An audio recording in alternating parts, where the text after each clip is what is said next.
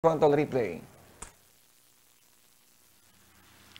Oh, Saudi of Glenda's Magic. Best to begin Marangal Little Annie Shep Canori outside Lady Liberty Heroes of Caloocan with Glenda's Magic. The leader by about two and a half lengths and in second Marangal Little Annie. In third and in fourth comes Lady Liberty.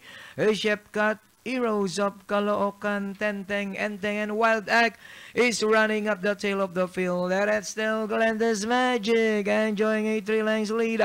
And in second, still is Amarangal, Little Annie in third, and in fourth is Lady Liberty, Shepcut. Then alongside is Heroes of Caloocan. But it's still Glenda's Magic by about four lengths. Marangal remains in second, Little Annie as they come down at the last 300 it's still Glenda's Magic by about 5 lengths. Marangal still in second down or inside. Lady Liberty on the outside. Chef Cut together is Little Annie down to the finish. It's still Glenda's Magic by about 3 lengths. Heroes of Caloocan now to take second.